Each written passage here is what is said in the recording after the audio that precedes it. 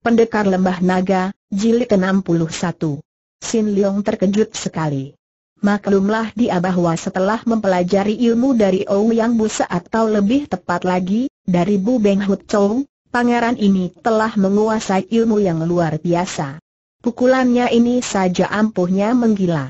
Maka dia pun cepat-cepat meloncat ke belakang, kemudian dengan hati-hati dia menaruh bungkusan roti kering, botol arak dan pakaian berikut sepatu di bawah pohon.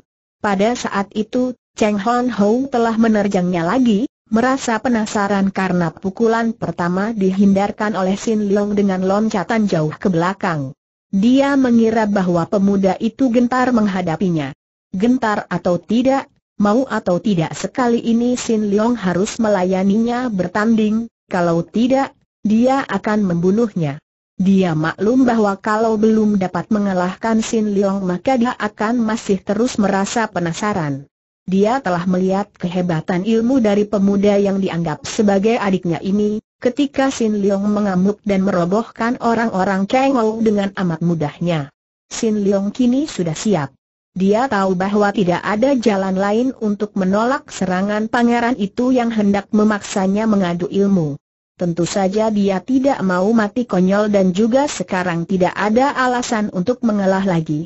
Sudah berkali-kali dia mengalah demi menyelamatkan nyawa orang lain, akan tetapi sekarang mereka berdua bertemu di hutan itu tanpa saksi, tanpa ada hal-hal yang memaksanya untuk mengalah, maka tentu saja dia tidak ingin membiarkan dirinya dipukul sampai mati. Begitu pukulan Hon Ho datang, pukulan yang dahsyat bukan main sebab kedua tangan pemuda bangsawan itu maju dengan kecepatan kilat, yang kiri memukul dengan tangan miring ke arah lehernya, yang kanan menusuk dengan jari tangan ke arah ulu hatinya, dia pun cepat menggerakkan dua tangannya yang melakukan gerak dan diisi dengan tenaga Tian Te Sin Chiang. Plak, plak, keduanya terpelanting. Bagus Han Ho gembira bukan main. Memang dugaannya tidak kosong. Adik angkatnya ini kuat sekali sehingga tangkisannya tadi mengandung tenaga besar yang membuat dia terpelanting, sungguh pun tenaganya sendiri pun membuat Sin Leong terpelanting pula. Dengan demikian, jelaslah bahwa dalam tenaga Sin Kang, mereka memiliki kekuatan seimbang. Namun Hon Ho masih belum merasa puas. Tenaga yang dikeluarkannya tadi belum sepenuhnya, baru tiga per empat bagian saja. Maka kini dia menggereng dan kembali dia menubruk dengan serangan pukulan dahsyat, menggunakan seluruh tenaganya, dengan kedua tangan dia mendorong ke arah dada Sin Leong untuk membuat pecah dada lawan itu. Sin Leong mengerti bahwa kakak angkatnya ini merasa penasaran dan hendak mengadu tenaga. Baiklah, pikirnya. Dia sudah mewarisi Tian Te Sin Chiang dari mendiang Kok Deng lama, maka kini dia pun menahan napas dan mempergunakan seluruh tenaganya dari pusat di bawah perut, menyalurkannya kepada kedua lengannya dan dia pun mendorong untuk menyambut hantaman lawan. Des! Hebat bukan main akibat adu tenaga keras lawan keras itu. Keduanya terjengkang dan bergulingan sampai beberapa meter jauhnya, dan sesudah keduanya meloncat bangun, wajah Sin Leong pucat sekali akan tetapi pada ujung bibir kiri Cheng Hon Ho nampak setetes darah segar. Bukan main. Tenagamu amat luar biasa kata Hon Ho agak terengah. Ho Ko, perlukah pertandingan gila ini dilanjutkan? Hai It. Pukulan yang datang disertai loncatan kilat ini benar-benar dahsyat bukan main. Saat itu Sin Leong sedang bicara, maka dia kurang cepat sehingga biarpun dia dapat menangkis pukulan itu, tetap saja hawa pukulan yang amat berat menghimpit pundaknya, membuat dia terpelanting kemudian bergulingan sampai beberapa meter jauhnya. Han Ho girang sekali. Akalnya berhasil, yaitu mempergunakan kesempatan selagi Sin Leong bicara tadi melakukan serangan kilat. Melihat tubuh lawan bergulingan itu dia sudah meloncat dan mengejar, mengirim pukulan lagi ke arah kepala Sin Leong ketika pemuda ini sedang bangun. Sin Leong yang sudah waspada itu cepat-cepat miringkan kepala dan menerima pukulan itu dengan bahunya. Duk! Tangan kanan Hon Ho tepat mengenai bahu kiri Sin Leong, akan tetapi tubuh Sin Leong tidak bergoyang, sebaliknya pangeran itu yang terbelalak.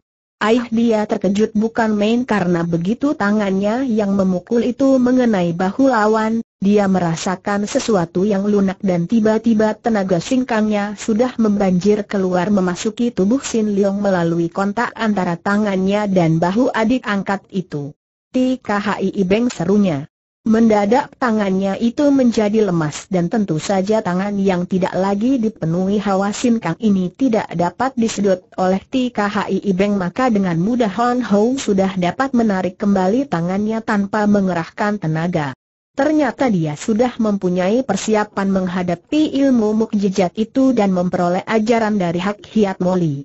Begitu tangannya terlepas, dia langsung mengirim tusukan dengan dua jari tangan kiri mengarah kedua mata Sin Leong. Siut!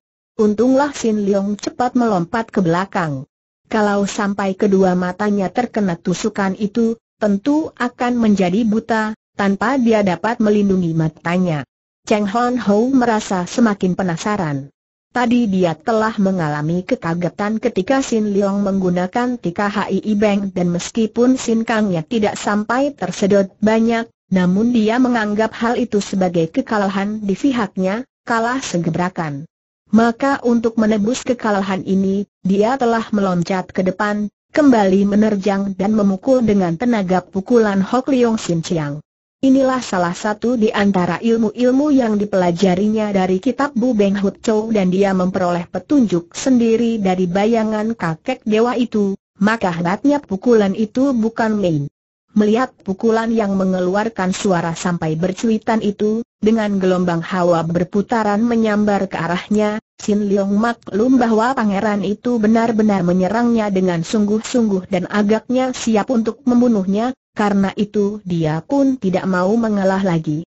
Dia pun langsung mengeluarkan jurus dari Hok Mo Chap Sa Chiang, menyambut pukulan lawan itu sambil mengerahkan tenaga sepenuhnya. Des! Kembali mereka bertemu di udara karena keduanya meloncat, dan kedua tangan mereka saling bertemu didahului hawa pukulan yang dahsyat bukan main dan akibatnya, kembali keduanya terjengkang, terbanting keras dan bergulingan ke belakang. Sepasang mata Hon Ho menjadi merah. Tadinya dia mengangkat dan memandang diri sendiri terlalu tinggi. Tak pernah dibayangkannya bahwa dia sampai bisa dibuat terbanting seperti itu, bahkan telah dua kali padahal baru bertanding dalam beberapa gebrakan saja, sungguh pun lawannya juga sama-sama terbanting. Hal ini dianggapnya tak masuk akal, bahkan menghinanya. Maka sambil mengeluarkan seruan nyaring melengking dia lalu meloncat dan menyerang lagi, mengirim pukulan bertubi-tubi mengandalkan kecepatannya bergerak. Memang hebat sekali pangeran ini. Gerakannya cepat bagaikan seekor burung walet yang menyambar-nyambar, kedua kaki serta tangannya bertubi-tubi mengirim serangan ke arah tubuh Sin Leong, mengarah bagian-bagian tubuh yang paling berbahaya karena lemah. Namun Shin Leong menyambut dengan sama cepatnya dan mereka saling serang dengan amat hebatnya. Terjadilah pertandingan yang amat seru dan andai kata ada orang yang menonton pertandingan itu, dia tentu akan menjadi bingung karena sukarlah mengikuti gerakan mereka berdua itu dengan pandang mata, yang nampak hanya dua bayangan yang menjadi satu, berkelebatan dengan kecepatan yang luar biasa. Agaknya Han Ho memang sengaja hendak menguras dan mencoba semua ilmu yang dimiliki oleh adik angkatnya ini, maka dia tidak segera mempergunakan ilmu yang paling diandalkannya, yaitu Hok Te Sin Kun. Ilmu ini merupakan andalan yang terakhir, maka dia hendak menguji kepandaian Sin Leong dengan ilmu-ilmu yang lain lebih dulu.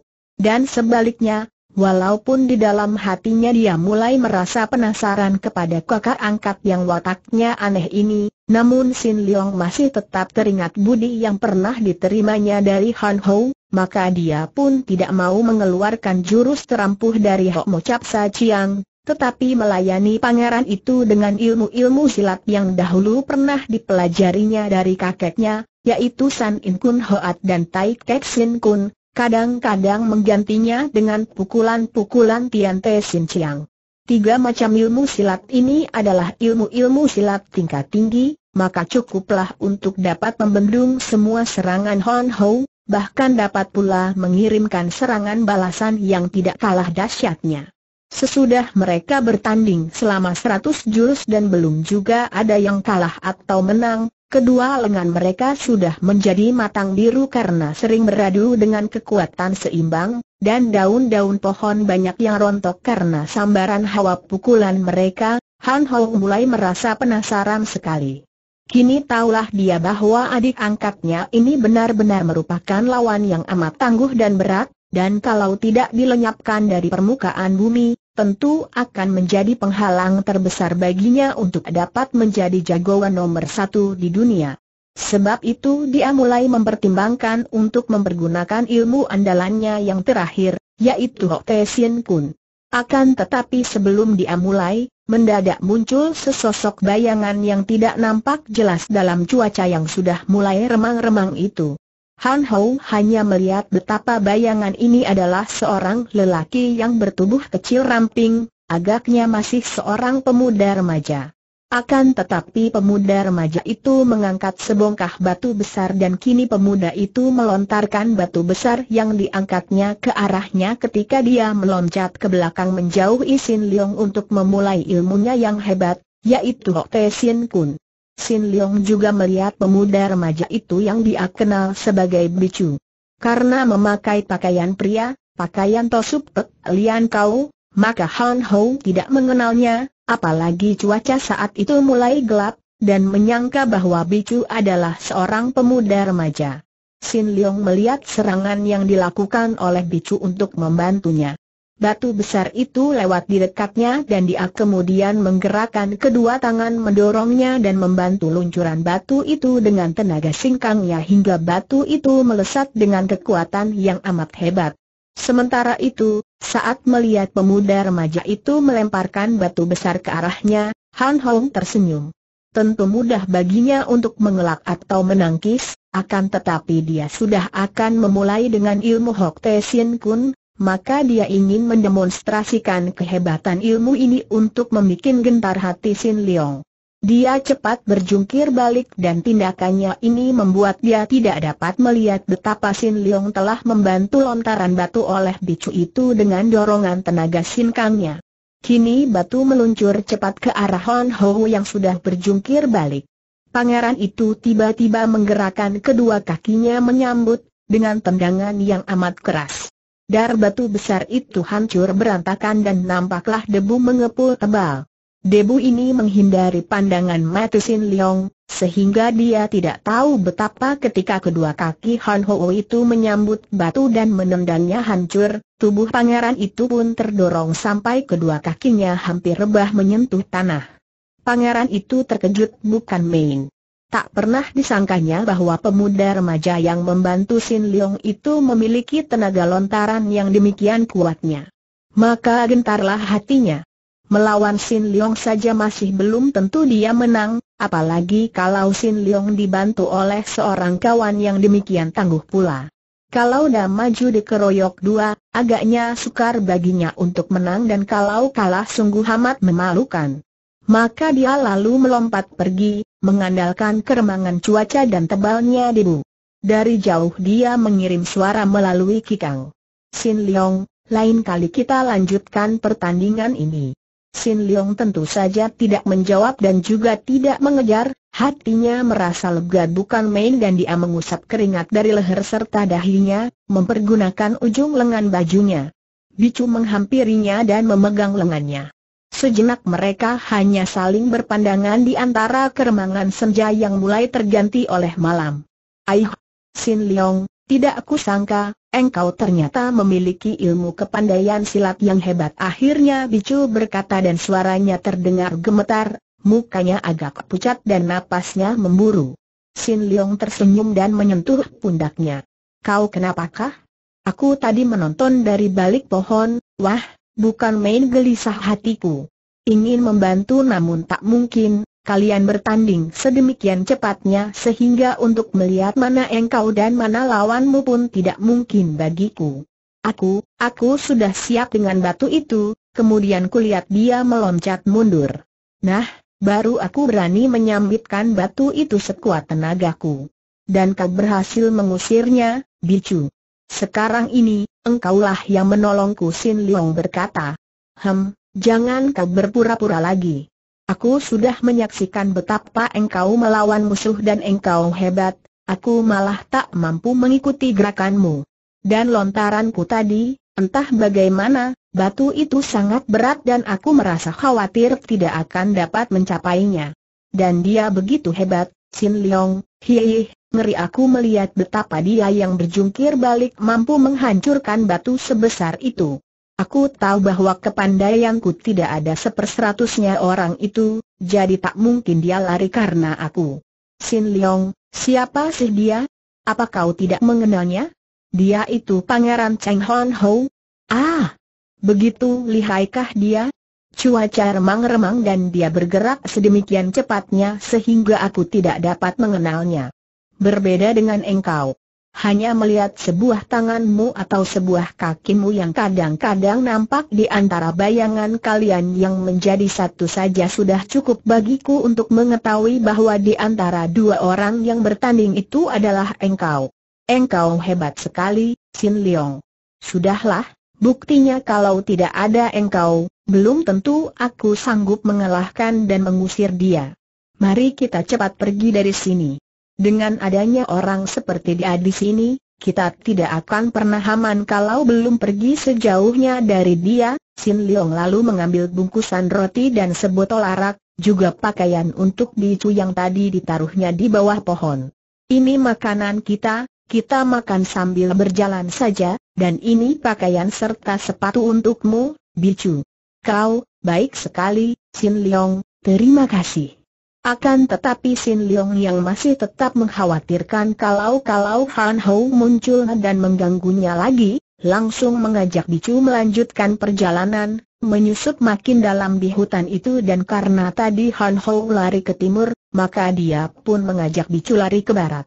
Dia baru saja datang dari dusun di sebelah barat, maka dia sudah agak mengenal jalan dan biarpun cuaca menjadi semakin gelap, dapat juga mereka maju sampai akhirnya mereka tiba di tepi hutan dan mereka terpaksa berhenti karena malam yang gelap telah tiba. Mereka makan roti dan minum arak.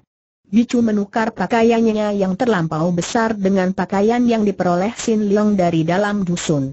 Setelah berganti pakaian, dia mendekati Sin Leong yang membuat api unggun, duduk dan memandang pemuda itu. Sin Leong, Bagaimana engkau bisa memilih pakaian yang begini pas ukurannya dengan tubuhku tanyanya sambil mengamati pakaian yang dipakainya itu di bawah cahaya api unggun, pakaian gadis petani yang sederhana, namun masih baru. Mudah saja, aku membelinya dari seorang gadis yang mempunyai bentuk tubuh seperti tubuhmu. Engkau memang pintar. Tapi sepatu ini, bagaimana bisa pas sekali? Aku, pernah memperhatikan kakimu, dan bayangan ukuran kakimu masih teringat jelas olehku sehingga mudah bagiku untuk mencarikan yang cocok. Eh, mengapa engkau memperhatikan kakiku tanya bicu dengan polos, tanpa maksud apa-apa, hanya memang karena heran mendengar ada orang memperhatikan kakinya. Kau maksudkan ketika kedua kakiku tidak bersepatu? Kenapa, ya? Mungkin karena melihat kaki tidak bersepatu merupakan hal yang aneh dan kakimu, kakimu begitu mungil. Ihaha. Jangan ceriwis kau bicu kini menundukkan mukanya karena dia tidak sanggup menentang pandang mata Sin Leong dan ada perasaan aneh menyelinap di hatinya yang berdebar-debar. Kau bertanya, aku menjawab sejujurnya dan kau marah. Sudahlah, aku mau tidur. Nanti tengah malam kau gugah aku, biar aku yang bergantian menjaga dan engkau tidur. Akan tetapi tentu saja Sin Leong tidak pernah menggugahnya dan ketika pada keesokan harinya Bicu terbangun dari tidurnya, dia marah-marah. Mengapa engkau tidak mau menggugahku semalam? Kau membiarkan aku tidur pula sampai pagi.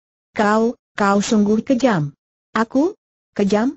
Hei, he, apa maksudmu Sin Leong bertanya, merasa bingung karena tak mengerti apa yang menyebabkan Bicu mengatakannya kejam kau membiarkan aku tidur semalaman dan kau berjaga semalam suntuk, membikin aku sungguh merasa tidak enak hati, bukankah itu kejam?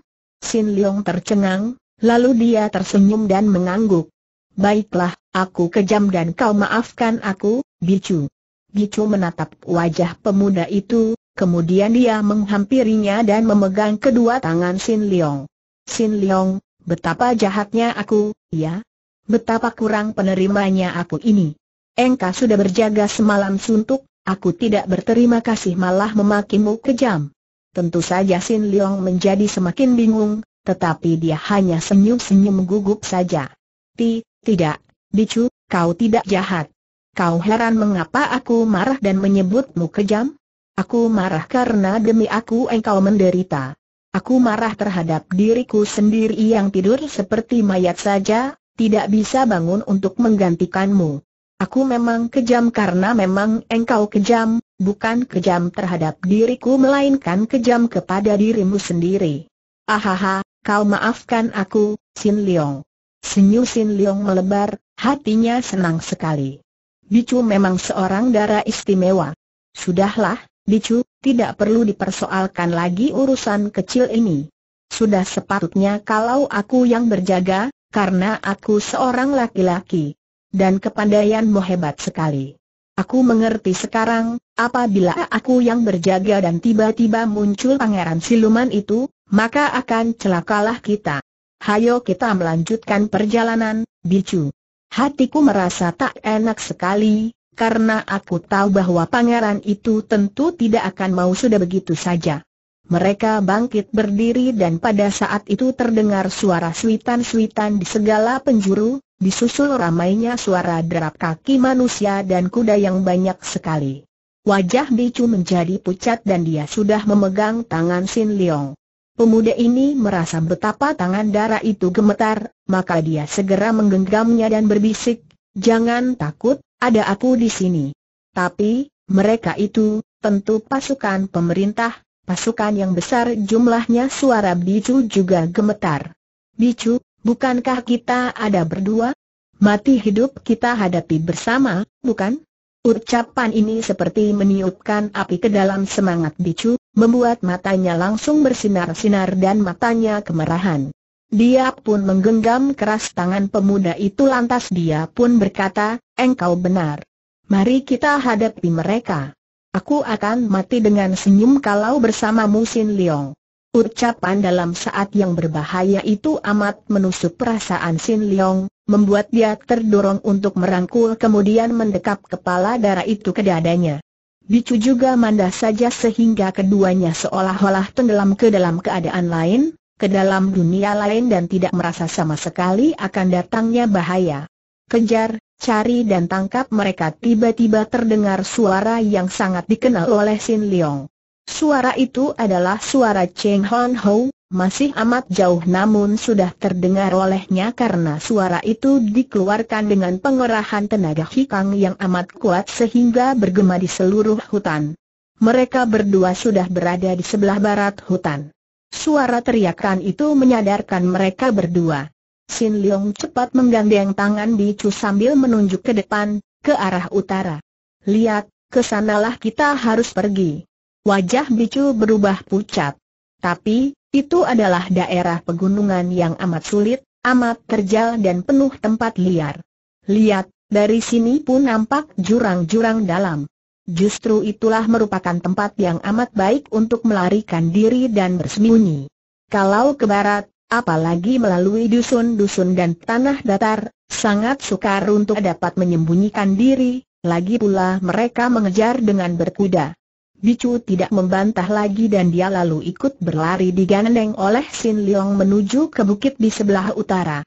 Benar saja, daerah ini amat sukar untuk dilalui, baru naik sedikit ke lerengnya, mereka sudah harus berloncatan dari batu ke batu dan mendaki tebing-tebing yang sangat sukar karena selain terjal, juga tebing-tebing ini hanya terdiri dari batu-batu gunung yang kasar dan licin.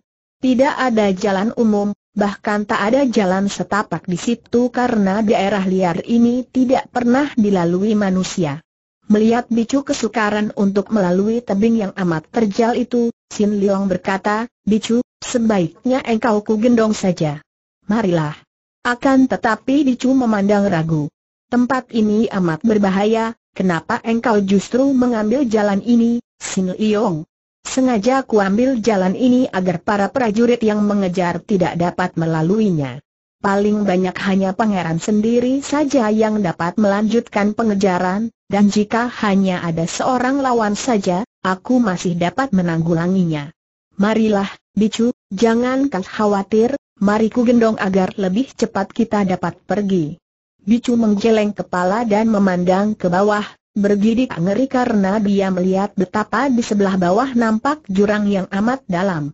Tempat ini begitu berbahaya, berjalan sendirian saja sudah sangat sukar, apalagi harus menggendongku. Tidak, aku tidak mau membuat kau terancam bahaya jatuh. Sin Leong tersenyum lebar.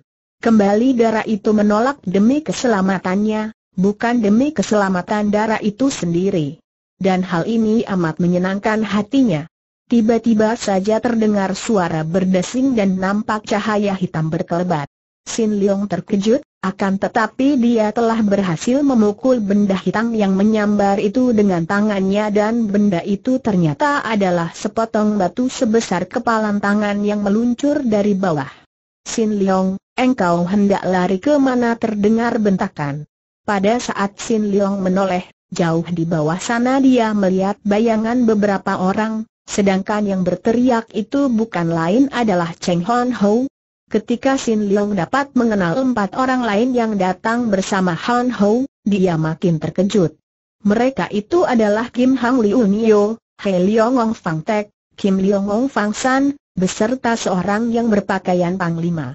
Ternyata ada lima orang pandai yang mengejarnya dan lemparan batu dari tempat sedemikian jauhnya namun masih dapat menyambarnya dengan sangat tepat dan cepat saja sudah membuktikan bahwa lima orang itu sungguh merupakan lawan yang amat berat. Celaka, mereka telah menemukan jejak kita. Sin Leong berkata dan tanpa banyak cakap dia menyambar pinggang bicu, diangkat serta dipanggulnya. Tubuh darah itu lalu dia pun berloncatan naik dengan cepatnya, seperti seekor monyet memanjat saja. Maaf, Bicu, tidak ada lain jalan katanya. Bicu terbelalak, kemudian dia memejamkan mata saking ngerinya di bawah berloncatan secepat itu. Diam-diam dia merasa ngeri dan takut, akan tetapi juga kagum bukan main menyaksikan betapa cekatan dan hebat ilmu ginkang dari pemuda yang tadinya diakira adalah Sin Leong yang dahulu, yang ilmu silatnya jauh di bawah tingkatannya karena dia sendiri sudah menjadi murid mendiang Hwai Sin Kai. Apabila dia ingat betapa dia selalu hendak melindungi Sin Leong selama ini. Kedua pipinya berubah merah dan dia pun lalu berbisik. Sin Leong, biarkan aku berada di belakangmu saja, sehingga aku dapat merangkul kedua pundakmu dan kau tidak perlu memondongku dengan sebelah lengan. Sin Leong merasa girang. Memang sebaiknya begitu sehingga dengan bicu di belakang, dia dapat berlari lebih cepat, dan dapat mengandalkan kedua tangannya untuk membela diri kalau perlu. Maka dia berhenti, menurunkan bicu kemudian dia menggendong bicu di punggungnya. Darah itu merangkul lehernya dari belakang sambil mempergunakan kedua kakinya untuk merangkul pinggangnya. Berdebar juga jantung Sin Leong merasakan betapa tubuh darah itu dengan hangat melekat di tubuh belakangnya, akan tetapi cepat dusirnya bayangan ini dan dia berlari terus. Akan tetapi lima orang pengejarnya mengerahkan ginkang mereka dengan secepatnya.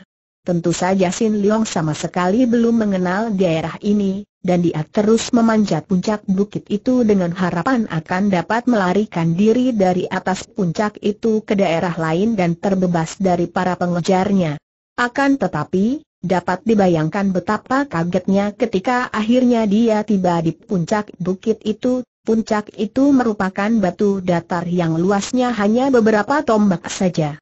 Puncak itu dikelilingi oleh jurang-jurang yang dalamnya tak dapat diukur lagi karena dari situ memandang ke bawah tidak kelihatan dasarnya, hanya nampak tonjolan batu-batu di sepanjang tebing itu seolah-olah sekeliling puncak itu yang ada hanya mulut maut yang terbuka lebar. Jalan naik satu-satunya hanya melewati jalan yang digunakannya tadi, dengan memanjat melalui dinding batu-batu bertumpuk-tumpuk. Dari puncak itu tak mungkin bisa melarikan diri ke lain tempat, kecuali kembali lagi melalui jalan tadi. Padahal, ketika dia menengok ke bawah, dia melihat Han Ho dan empat orang temannya sudah mulai mendaki puncak itu. Wah, tidak ada jalan lari lagi katanya kepada bicu yang menjadi pucat dan merasa khawatir sekali. Satu-satunya jalan hanyalah melawan mereka. Bicu, jangan khawatir, aku akan melawan mereka mati-matian. Belum tentu aku akan kalah oleh mereka. Kurasa di antara mereka, yang terlihat adalah Pangeran Cheng Hon Ho. Kau jangan ikut-ikut, kau tunggulah saja di sudut sana, berlindung di balik batu itu. Tapi, tapi, aku harus membantumu. Bicu, terus terang saja, tingkat kepandaianmu masih jauh sekali selisihnya dengan ilmu kepandaian mereka. Sekali maju, berarti engkau menyerahkan nyawa untuk mati sia-sia. Apa artinya lagi aku melawan bila sampai engkau menyerahkan nyawa dan mati konyol? Tidak, Bicu.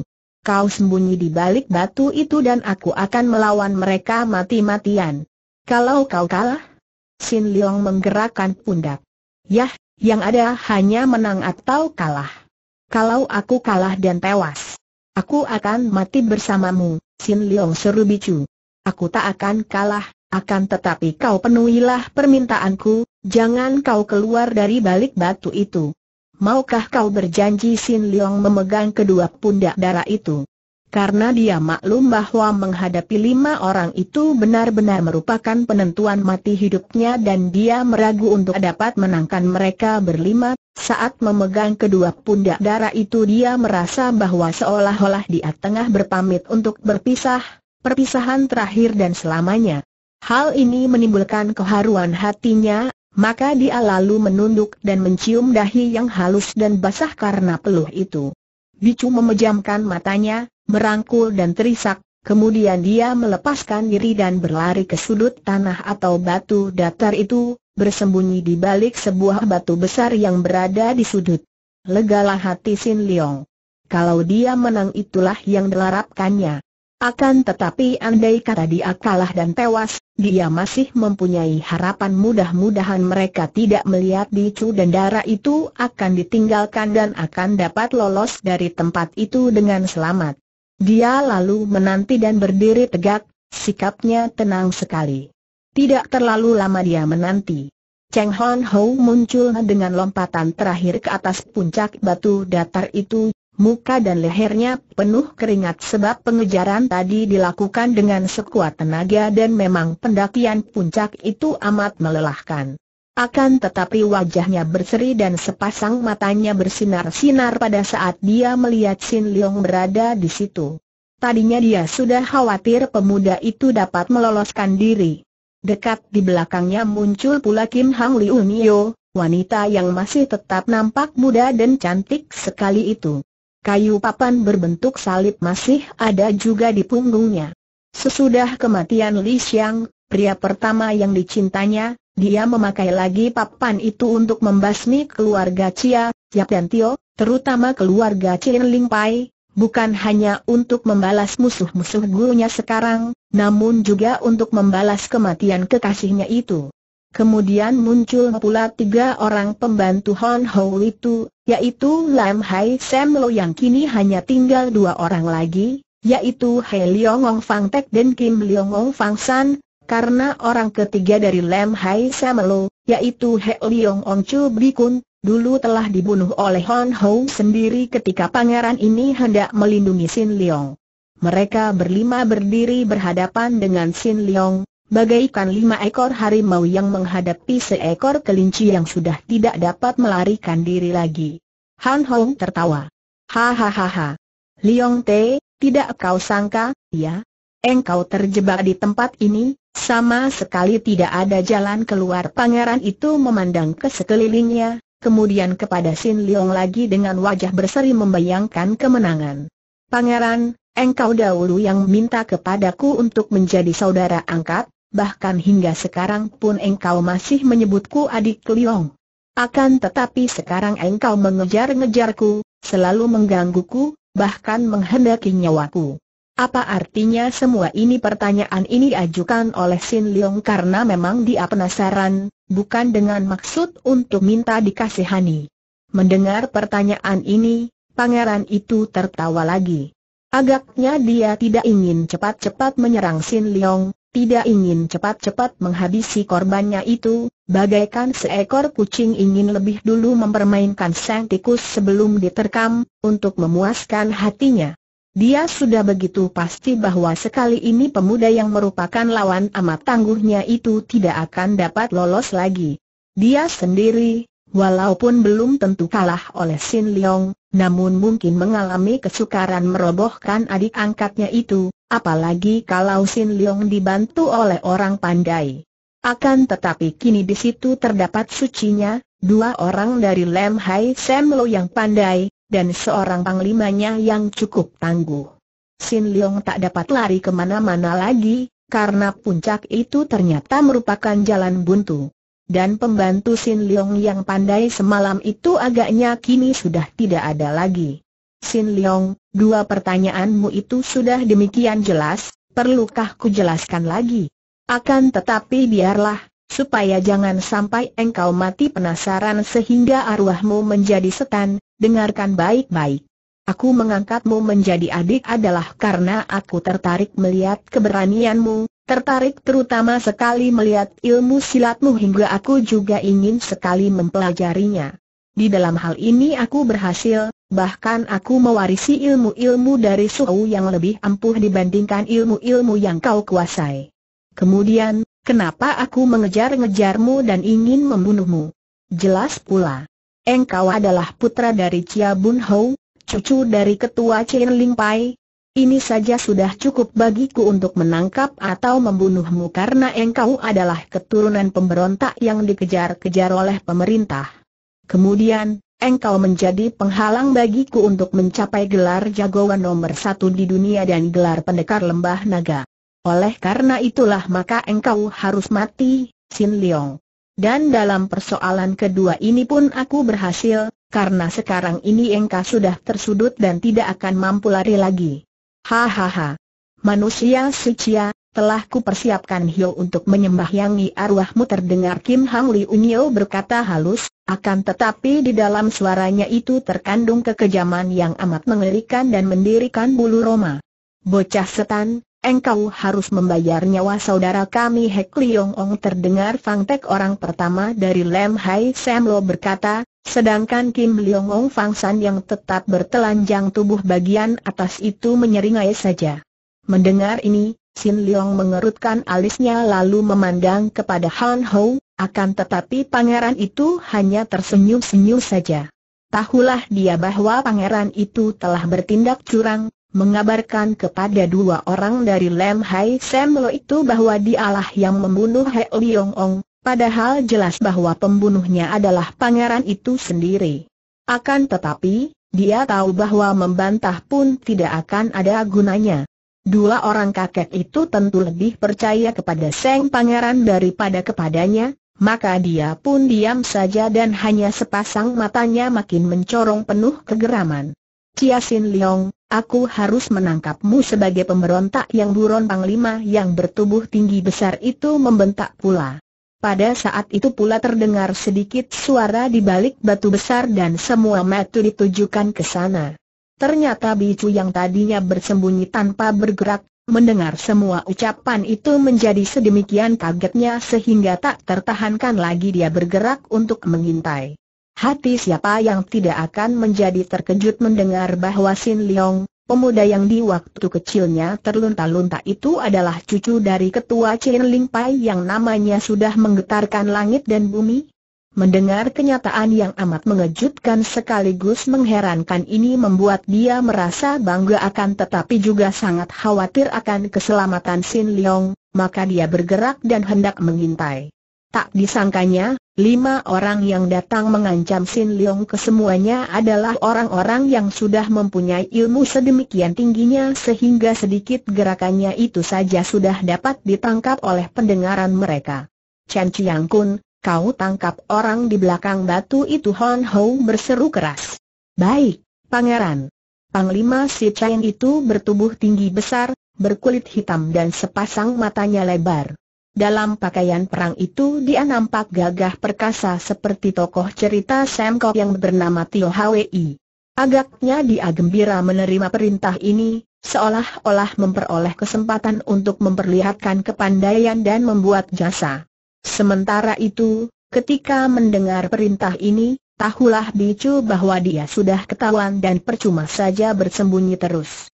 Dia tidak takut karena memang tadinya dia tidak ingin bersembunyi, melainkan hendak menghadapi bencana di samping Sin Leong. Apalagi sekarang dia telah mengetahui bahwa Sin Leong adalah keturunan Chin Ling Pai, maka hatinya menjadi semakin besar dan tidak takut mati. Muncullah darah itu dari balik batu besar dan melihat darah ini, Chen Chiang pun terbelalak dan merasa heran, bingung, juga kecewa.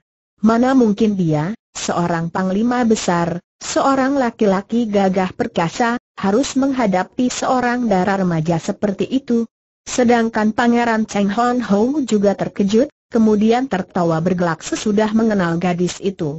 Hahaha, Chia Sin Leong yang terkenal sebagai pria alim itu ternyata secara diam-diam di mana-mana disertai wanita cantik. Tangkap dia, Chen Chiang Kun. Karena perintah itu diulangi, terpaksa Chen Chiang Kun cepat menubruk ke depan hendak menangkap Bicu. Karena gerakannya memang cepat sekali, maka sekali sambar saja dia sudah berhasil menangkap pergelangan tangan kiri Bicu. Kerbau-bau, lepaskan aku bentak Bicu dan tangannya bergerak menampar. Plak pipi yang lebar dari Panglima itu sudah kena ditampar oleh tangan kanan Bicu. Tentu saja Chen Chiang Kun menjadi marah bukan kepalang. Dia dimaki kerbau busuk dan bahkan pipinya ditampar oleh bocah ini. Perempuan liar kau tangannya bergerak dan muka bicu sudah ditamparnya sehingga bicu terpelanting dan untung tubuhnya menabrak batu besar, kalau tidak tentu dia akan terguling ke dalam jurang yang berada di dekat batu besar itu. Keparat tiba-tiba nampak bayangan berkelebat dan tahu-tahu Sin Leong sudah tiba di depan si Panglima yang sudah hendak mengejar kembali, entah untuk memukul lagi atau menangkap. Melihat pemuda itu sudah berada di depannya, Chen Chiang Kun yang marah dan merasa malu itu menimpakan kemarahannya kepada Sin Leong dan memang dia ingin membuat jasa, maka dia pun langsung menghantamkan kedua tangan secara bertubi-tubi ke arah kepala dan perut Sin Leong. Serangannya ini cepat dan amat kuatnya karena memang dia seorang ahli GWA Kang, tenaga luar, yang telah melatih kedua lengannya hingga menjadi matang biru dan luar biasa kerasnya. Akan tetapi, Sin Leong yang sudah marah sekali melihat betapa bicu ditampar oleh pria ini, sudah menggerakkan kedua lengan menyambar sambil mengerahkan tenaga Tian Te Sin Chiang. Krek, krek. Panglima Chan mengeluarkan rintihan yang bercampur teriakan kaget. Dua pergelangan lengannya patah ketika bertemu dengan lengan pemuda itu dan selagi dia terbelalak itu Sin Leong sudah menggerakkan tangan menampar dengan punggung tangan kiri. Des! tubuh perwira tinggi itu terpelanting lantas terbanting keras. Dia tidak dapat bangun lagi karena sudah pingsan setelah terkena tamparan keras yang membuat tulang rahangnya retak-retak itu. Akan tetapi, pada saat itu, Han Ho dan tiga orang temannya sudah berlompatan dekat dan pada waktu Sin Leong merobohkan Chen Chiang Kun, atas isyarat Han Ho, mereka berempat secara berbareng telah melakukan serangan yang amat dahsyatnya kepada Sin Leong. Han Ho yang sudah maklum akan kelihayan adik angkat itu, sudah berjungkir balik dan menggunakan ilmu Hok Te Sin Kun, kepalanya menjadi kaki dan kedua kakinya mengirim tendangan-tendangan aneh dibantu oleh kedua tangan yang melakukan pukulan-pukulan jarak jauh dari bawah. Sementara itu, Kim Hang Li Unyo sudah menyerang pula dengan sabuk merahnya, melakukan totokan ke arah sembilan jalan darah terpenting dari tubuh lawan bagian depan secara bertubi-tubi. Hei Leong Ong Fang Tek yang bermuka hitam sudah menerjang dengan pedangnya yang ganas, dengan ilmu pedang Leong Jiao Kiam Sut, adapun si kecil pendek Kim Leong Ong Fang San telah mengandalkan ginkangnya, meloncat tinggi lantas menyerang dari atas mempergunakan pukulan dengan tangan kirinya yang bergelang emas tebal. Dalam satu gebrakan ini Sin Leong menghadapi empat lawan yang menyerangnya sekaligus, masing-masing menggunakan serangan yang amat berbahaya dan dahsyat. Tentu saja Sin Leong terkejut sekali. Dia sudah mengisi kedua lengannya dengan tenaga Tian Te Sin Chiang yang membuat kedua lengan itu kebal terhadap senjata tajam. Sinar merah sabuk Kim Hang Li Unyo ditamparnya dengan jari tangan sehingga ujung sabuk itu membalik, Lantas pedang Hai Leong Ong Fang Tek dan pukulan Kim Leong Ong Fang San ditangkisnya pula dengan kedua tangannya sehingga membuat pedang itu menyeleweng dan Fang San yang tertangkis pukulannya itu mencelat ke belakang. Akan tetapi, pada saat itu kedua kaki Han Ho sudah melakukan tendangan-tendangan aneh dalam keadaan jungkir balik. Sin Leong cepat menggunakan kedua tangannya untuk menangkis dan mengelak, dan dia merasa betapa dari kedua kaki itu menyambar hawa yang aneh dan kuat bukan main. Tahulah dia bahwa ilmu ini aneh sekali. Selagi dia hendak menggunakan ilmu Hok Mo Cap Sa Chiang, tiga orang yang lain telah menerjangnya lagi. Maka sibuklah Sin Leong mengelak dan menangkis. Pada saat itu Hon Ho mengeluarkan suara nyaring melengking lantas tubuhnya yang berjungkir balik itu kembali menerjang maju. Kakinya bergerak aneh ke arah Sin Leong yang sedang sibuk menghadapi serbuan tiga orang lihai itu. Sekali ini Sin Leong menjadi sibuk juga, jalan satu-satunya hanya meloncat ke belakang, akan tetapi di belakangnya, hanya sejauh satu tombak, adalah jurang yang amat dalam.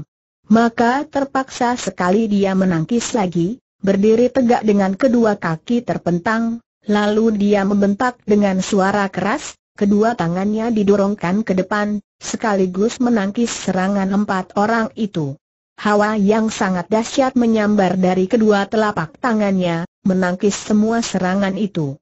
Terjadilah pertemuan tenaga yang amat dahsyatnya dan akibatnya, tubuh Hon Ho yang berjungkir balik itu terlempar seperti layang-layang putus talinya, juga Kim Hang Li Unyo terhuyung ke belakang, dan kedua orang Lam Ai Sam Lo itu terjengkang dan bergulingan, mereka seperti dilanda angin taufan yang amat kuat.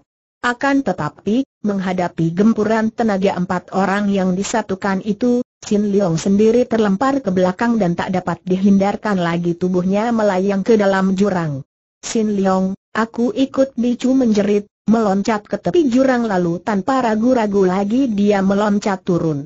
Karena dia meloncat dengan mempergunakan tenaga, maka tenaga loncatan itu menambah cepatnya tenaga luncuran tubuhnya sehingga dia dapat menyusul tubuh Sin Leong. Bicu Sin Leong yang jatuh dalam keadaan telentang itu berteriak kaget melihat tubuh Bicu juga jatuh menyusulnya. Empat orang itu merangkak bangun dan berlari ke tepi jurang. Melihat tubuh kedua orang itu meluncur turun dengan amat cepatnya, kematian tak dapat disangsikan lagi pasti akan menyambut mereka berdua di bawah sana. Pangeran Cheng Hon Ho tertawa bergelak sambil memandang langit. Hahaha. Selamat jalan, Chia Sin Leong. Hahaha, sekarang akulah pendekar lembah naga. Inilah pendekar lembah naga Han Ho menepuk-nepuk dadanya sendiri sambil tertawa-tawa. Baru sekarang terasa benar bahwa betapa sesungguhnya dia amat membenci Sin Leong, semenjak permulaan. Benci yang timbul karena iri hati. Meskipun dia seorang pangeran, namun dia iri melihat betapa pemuda itu demikian gagah berani, demikian jujur, demikian setia, dan keturunan dari para pendekar besar dari Chin Ling Pai pula. Dia merasa iri, apalagi setelah dia tahu bahwa Sin Leong mewarisi ilmu-ilmu yang amat tinggi. Kini satu-satunya saingan baginya telah lenyap. Dia selalu merasa rendah diri kalau dekat dengan Sin Leong. Pemuda itu begitu alim, tidak dapat digoda nafsu birahi, begitu tenang dan dapat menguasai perasaan dan keadaan. Kini telah tiada, telah hancur lebur di dasar jurang yang tak nampak itu.